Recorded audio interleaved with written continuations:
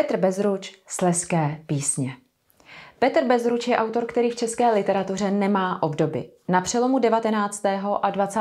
století se vynořil jako blesk z čistého nebe, když začal do časopisu posílat své básně, které všechny uchvátily svou originalitou a kvalitní formou. A nikomu nebylo jasné, kdo je ten tajemný básník Petr Bezruč. Toto dnes legendární jméno byl totiž jen umělecký pseudonym. Šlo o Vladimíra Vaška, obyčejného poštovního úředníka. Už na brněnském gymnáziu psal Vašek parodie a vtípky na učitele. Jako syn profesora neplnil představy svého okolí ani při následných studií na Karlově univerzitě. Flákal se po hospodách, hrál karty a bylo mu všechno jedno. Později i sám přiznal, že v průběhu studií na univerzitě nenavštívil ani Národní divadlo, ani například katedrálu svatého Víta. Na druhou stranu Poa, Puškina a Lermontova četl i v originálech. Po návratu z Prahy se začal živit jako pošťák v místku kde se seznámil s Ondřejem Boleslavem Petrem, učitelem a sleským vlastencem, který na Vaška zapůsobil a stali se přáteli. Petr dokázal Vaška vytrhnout z melancholie, která ho od pražských studií provázela. Vzbudil v něm velké vlastenectví a podporoval jeho literární snahy. Oba psali básně a podnikali spolu výlety po celém Slesku, které si Vašek opravdu zamiloval. A také se sleská příroda objevuje často v jeho básních. Petr byl i tím, kdo Vaška seznámil s Dodou Bezrudchovou, 18-letou dívkou, která byla původem Němka a Vašek se do ní vážně zamiloval. Psal jí básně v Němčině a na dopisy se podepisoval jako Bezruč, aby jí dokázal, že to myslí vážně.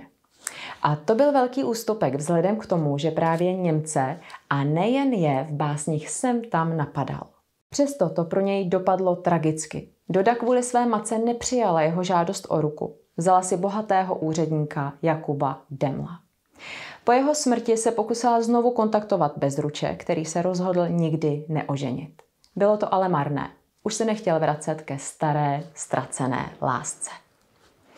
V době neúspěšné žádosti o ruku jeho nejlepší přítel Ondřej Boleslav Petr ztrácí práci, odchází od něj jeho dívka a následně spáchá sebevraždu. Příběh Petrova života je psán v básni Kantor Halfar. Zarmoucený Vladimír Vašek se vrací zpět do Brna. V roce 1899 se rozhodl zaslat své básně do časopisu Čas redaktorovi Janu Herbenovi. A to tedy pod pseudonymem Petr Bezruč. Petr pravděpodobně jako vzpomínka na přítele Ondřeje Boleslava Petra a Bezruč jako památka na nešťastnou lásku Dodu Bezrudchovou. Redaktor chtěl i hned tři z nich otisknout. Škaredý zjev, Den Palackého a Zkazka. Cenzurou ale nakonec prošla jen zkazka, později přejmenovaná na jen jedenkrát. Deset let uteklo od zveřejnění první básně do vydání knihy s názvem Sleské písně.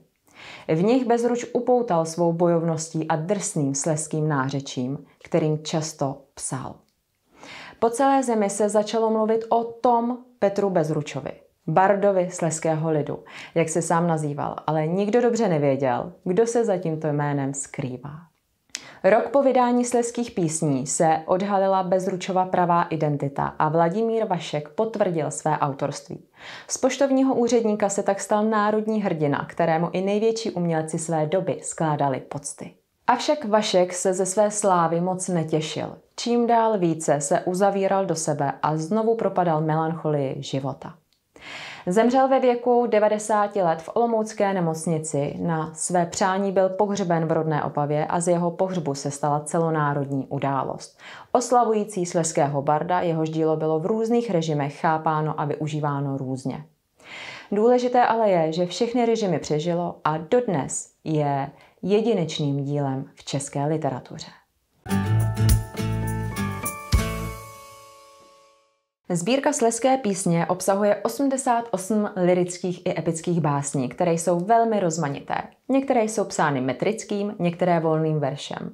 Některé se rýmují, některé ne. Rozmanité jsou i obsahově.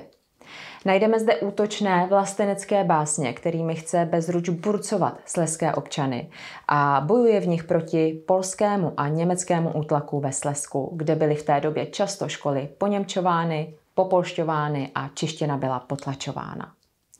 Úplně první báseň, která byla otištěna v příloze časopisu Čas, nesla název Skazka.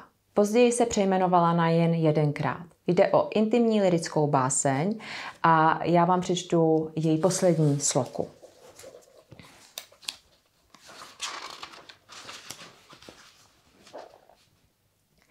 Já jsem ji miloval, ona se mi vydala.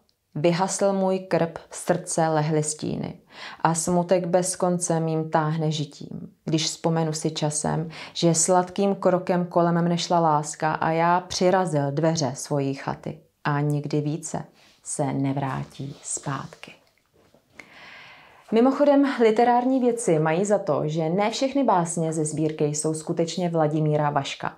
A toto nebo tato s původním názvem Skazka, je jednou z nich. Vydali ji totiž dva autoři. Vladimír pod pseudonymem Petr Bezruč a druhým byl Jan Grmela, který se přestěhoval do Francie a vydal ji právě tam.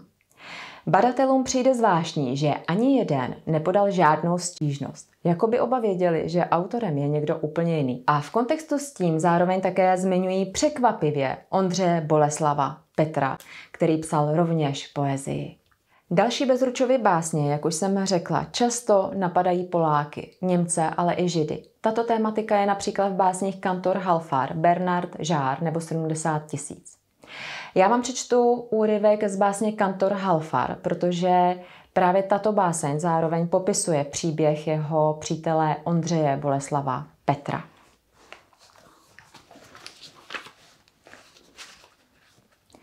Byl to synek jako jedle, byla na něj pišná máti, ale škaredou měl chybu tu, že nechtěl poslouchati těch, kdož vládli pod lipinou. Tak z toho je naprosto patrný, že byl vlastenec a že se nechtěl nikomu područit. Halfar pořád za mládence, pro Halfara místa není. Přijdou páni, škola polská, burmistr v klín ruce složí, ale spurný Halfar učí, jak mu káže zákon boží. Takže z toho je patrné, že si eh, kázal to, co chtěl, to, čemu věřil. Dále jsou ve sbírce básně se sociální tématikou. Ty ukazují na bídu chudých lidí a dělníků, kteří pracují a trpí pro bohaté. A právě pro tyto básně Bezruče tolik vyzdvihoval komunistický režim. Jde o básně například Marička Magdonová nebo Ostrava. A já vám přečtu poslední úryvek právě z Ostravy. Sto roků v šachtě žil, mlčel jsem, sto roků kopal jsem uhlí. Za sto let v rameni bezmasém, svaly mi v železo stuhly. Chléb s uhlím beru si do práce, z roboty jdu na robotu. Při Dunaji strmí paláce, z krve mé a z mého potu. Sto roků v kopálně mlčel jsem, kdo mi těch sto roků vrátí. Když jsem jim pohrozil kladivem, kde kdo se mi začal smáti. Sleské písně neustále vycházejí v různých vydáních. Byly přeloženy do 40 jazyků. Význam jeho veršů je obrovský, protože Bezruč jiným způsobem zaznamenal utlačování sleského lidu. Za Rakouska byly jeho básně cenzurovány, za první republiky oslavovány, za války zakazovány a po nástupu komunismu zase oslavovány. Bouřili ve všech režimech a dobách a přestože na ně dnes lidé nahlíží zkresleně kvůli komunistické propagandě, jsou stále ceněny jako jedinečné dílo, které opravdu nemá v české ani světové literatuře obdoby. Hm?